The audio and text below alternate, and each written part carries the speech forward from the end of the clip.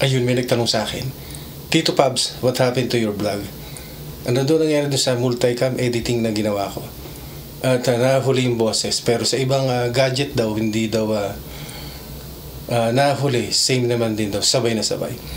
So yan yung um, naging problema dun sa aking multicam editing sa unang part, yung uh, multicam. Tatlong camera ginamit ko dun. And uh, let's find out kung saan ako nagkamali dito at itama natin. Here we go.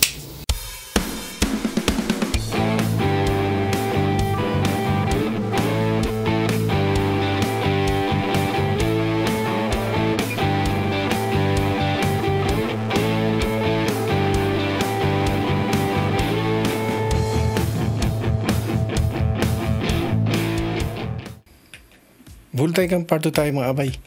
May mali sa setting ng multicam. Editing ko sa DaVinci Resolve at maling uh, video yung na-upload ko. Hindi ko napansin na yung uh, pre-edited na video pala yung na-rendered ko at uh, diretso upload. At yung video na may mali na tinrim ko pa lang. Pero pag uh, pinapanood ko naman sa playback or piniplay ko sa PC ko na tama naman yung pag sa TV or ibang gadget. Wala sa timing, something wrong. Sa pag-execute ng multicam switch or camera switching is good but ang naging problema ay yung sa audio na huling boses sa video at nauna naman yung video sa boses. And I found out na bago ko i-cut yung clip ay nilagay ko muna sa compound clip at doon ko inedit at inalis ko yung mga maling dialogue. At ito yung nga yung maling video How to film and edit multicam in DaVinci Resolve. Multicam editing is a technique used in video editing that allows you to edit footage from uh, different cameras into a single video simultaneously. It can help you create more dynamic and engaging videos by showing Nagka-problema sa timing ng audio at video at ito nga ang video na na-save ko. And uh, one more thing, kung saan ako nagkamali yung Insta360 ay Iba ang frame rate kumpara sa dalawang camera which is running in uh, 24 frames per second then I think much higher frame rate yung isa or the Insta360 I think it's 25 or 30 so for today's vlog itatama ko ngayon yung kung saan ako nagkamali. Pero gumawa muna ako or nag-shoot muna ako ng sample at ginamit ko na yung camera ng uh, yung M50 and M3 This time para tatlong camera pa rin muna ang uh, ginamit ko dito for uh, experiment. Tapos in-upload ko sa isang akong uh, YouTube channel which nag-work naman.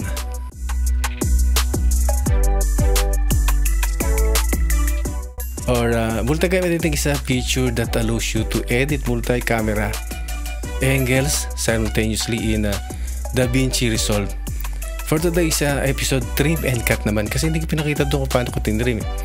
Basta chinap-chop ko na lang. Or pa iba-ibang clip. At uh, hindi ko na ipakita kung paano ko tinrim.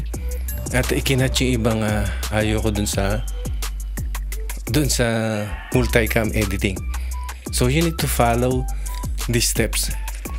So ganun pa rin ang uh, mag-import tayo ng multicam clips into the media pool tapos, and then sync natin yung uh, clips to create a multicam clip. And then edit natin ito sa timeline. Adjust the clips inside the multicam clip. And then edit the multicam clip by selecting between different angles. And then uh, flatten the multicam clip. Or uh, i-fine tune na lang natin. Pakikita ko din siya. For now, ang, ang ginagamit ko ngayon is same pa rin, Canon M50, the Insta360 RS, and then the Canon EOS M3. So let's go right dive into my computer again and same procedure pa rin yung ating gagawin sa pag import ng ating uh, media. Pwede nating uh, i-highlight and drag dito sa ating uh, sa media pool. And let's go to uh, edit page. Click natin itong uh, edit tool. Then highlight again right click and create multi-cam clip using selected clips. So ganun pa rin, M3 multicam ang pinangalan ko, 24 frames per second. And uh, senior ko na na lahat ay 24 frame per second. And uh, audio sync natin is sound sequential. Tama rin. Yun, wag na tayong mabagoyin. Uh, leave, leave the move source clip to original clips bin. So, check pa rin natin yan. And then create. So, maghintay lang tayo mga ilang seconds. And disclaimer lang po mga abay bago na tayo sa pag-edit dito sa DaVinci Resolve. Hindi siya kagaya ng Adobe Premiere Pro na hindi siya naglalag or uh, dire-diretso lang hindi na-relate yung boses pag yung uh, nag-edit kayo sa inyong edit page dito may pagkakaiba kailangan mag-adjust pa rin kayo so andito analyzing pa rin sa ating uh, page o auto audio sync audio and here we go um, meron dito dalawang uh, slot na nakikita ko. O eh, tatlo na pala. And uh, multicam M3 at meron siyang original clips here. And drag natin dito. And here we go. Dito sa ating inspector, click natin itong uh, dalawang windows na to. Yung dual viewer mode. Uh, okay, and then dito naman sa may bandang uh, kaliwa natin yung source lagay natin sa multicam para makita natin yung i-edit natin and dito naman sa ating uh, eh, timeline click lang natin to at hanapin natin yung ating pinakamagandang uh, uh, audio so where's my audio here? I think it's angle 2 okay. At yun din ikinlik nyo ang magiging unang source na makikita nyo dito sa kabilang uh, uh, screen or dun sa dual. Ayan. Sa dual screen. So play natin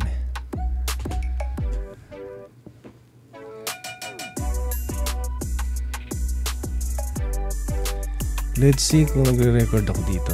Okay it's 2 minutes. Kakat ko na din to ano? Para mas madali. Eh nakita ko na. At uh, nakita ko na yung aking tiyan doon. Medyo mas malaki. Ikakat natin yan. So bago tayo pumunta doon punta muna tayo dito sa sa ating uh, timeline. Pumunta tayo doon sa open timeline. Ayan. And then hanapin natin yung uh, isang uh, clip where's the other clip here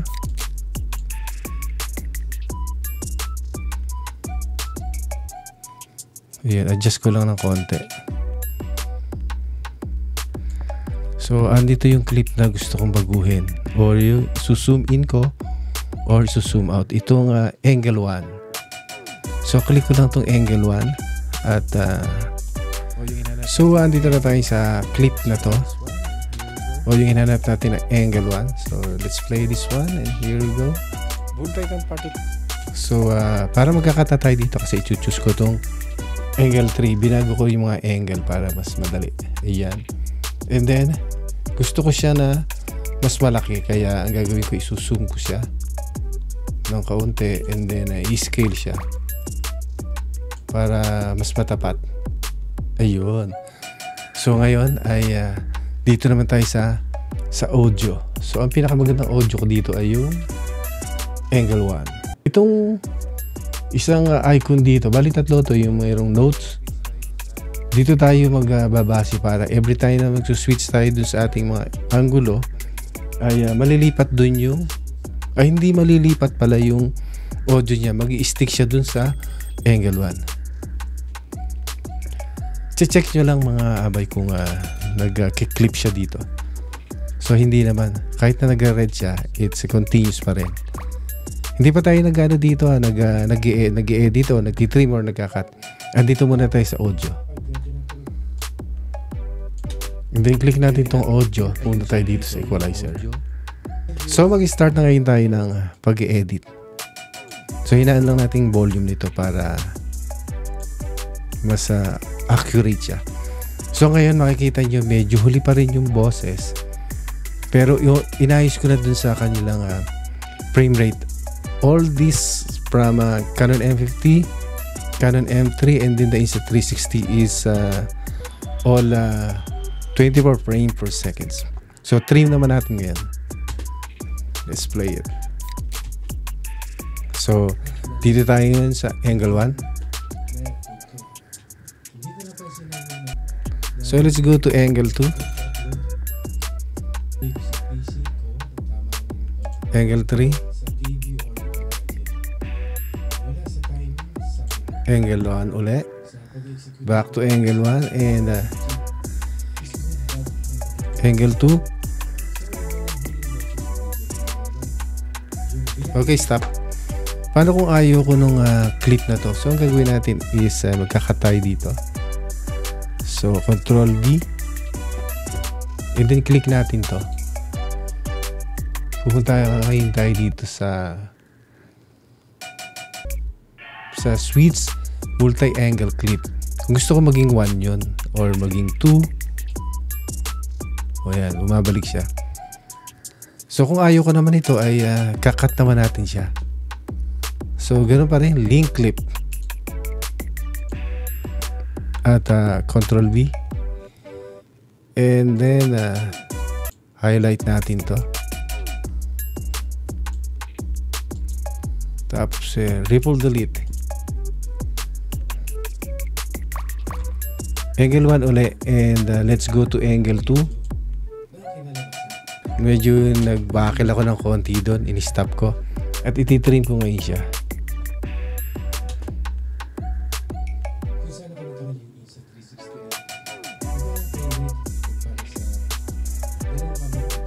Kung mapansin nyo, medyo uh, nalilate pa rin yung boses pero nire-remedyohan na yan ni DaVinci Resolve pag yung i-render nyo na. Hindi natin kailangan mag-adjust. Kagaya ng ginawa ko dati kaya nagkaroon ng problema. So, uh, here is the result. Here we go.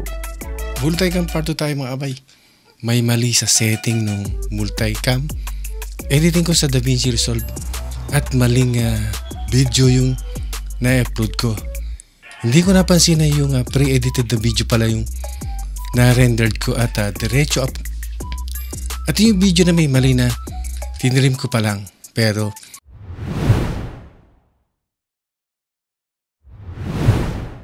Looking for the perfect song to take your video project to the next level?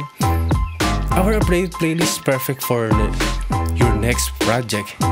Audio Pro has an exclusive library of 30,000 plus songs and sound effects from hundreds of elite artists and composers.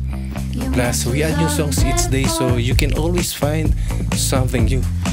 Find the perfect song quickly and easily and because our license covers any platform, you're always covered whether it's YouTube, monetization, or broadcast television. There's a lot of choices to get your subscription. Sign up today and get unlimited access to our library of music, plus sound effects, or you can use my link for a better price. Link in the description, so mag-purchase na kayo. In times of problems, conflicts, difficulties, and fear, let us call upon the Lord and He will listen to us. Thanks for watching and I catch you in the next video. Maraming salamat. God bless to all.